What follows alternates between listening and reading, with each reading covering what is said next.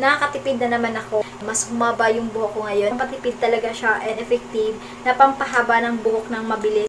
Hello, sis Biba. So ngayon, meron tayong panibagong video. Para mabilis ang pagkahaba ng iyong buhok, kailangan lang natin gumamit dito ng coconut oil, olive oil, at saka itong honey. So kailangan natin dito na coconut oil is dalawang kutsara. So extra virgin coconut oil na 4 source yung gamit ko dito.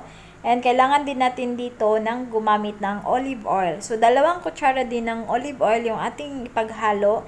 And then, after ng olive oil is kailangan din natin haluan ito ng honey para mas maging malambot yung buhok. So, dalawang kutsara din yung ating ihalo dito. And paghalo-haluin mo lang ito. So, ito na yung mga loves, pinaghalong honey, olive oil, at saka yung coconut oil. So, ito na yung mabisa para sa pampatibay ng buhok, pampakapal. Nagiging ganito yung kulay na ng buhok ko. And then, sobrang shiny siya kahit wala ka tayong ligo. Ayan, i ganito lang natin yung paglagay.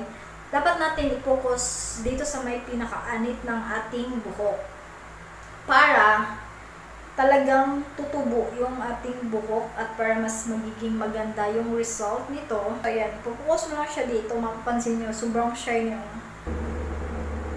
So, pagtsagaan nyo lang siyang gamitin. Pansin na pansin nyo, di ba? Sobrang shiny ng ating hair ngayon, mga besh. So, ibuhos mo lang itong lahat ng to dito sa inyong buhok. Ginagamit ko pala dito yung coconut oil dahil ang coconut oil ay nakatulong siya na nagpapalambot ng buhok. Nakakatulong din ito para magpatibay mula sa pagkatputol o split ends. Dahil yung coconut oil ay marami itong taglay na fatty acid, protina at vitamina para i-nourish at ma-stimulate ang hair follicles. Kaya itong um, coconut oil ang isa sa mga mabisang or effective na lunas na natural na paraan para sa mga nalalagas na buhok. So ngayon, kung tinatanong nyo naman kung bakit meron tong olive oil, dahil ito, pwede mo itong instant remedy sa iyong tuyong buhok. Kung kaya ikaw, kung meron kang problema sa paglalagas or pagka-dry sa inyong buhok, pwede din naman na i-apply mo lang yung extra olive oil or yung virgin coconut oil. So, yun yung i-apply nyo bago kayo matulog sa gabi. Kinabukasan mo lang siya banlawan. So, ngayon, kung nagtaka kayo kung bakit meron akong ginagamit dito na honey, ang honey ay magandang moisturizer dahil sa antibacterial properties nito, makakatulong ito sa problema sa balakubak. At ito, meron siyang abilidad na patibayin ang iyong buhok.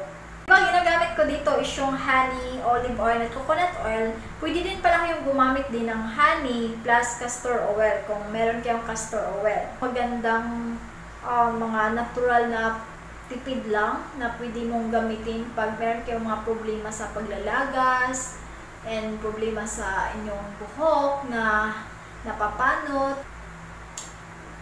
So, ito na yung ating buhok. So, patagalin lang natin to na mga 20 to 30 minuto bago natin siya banlawan. So, dapat imasamasahin natin yung ating anit para ma-absorb yung ginagamit natin dito.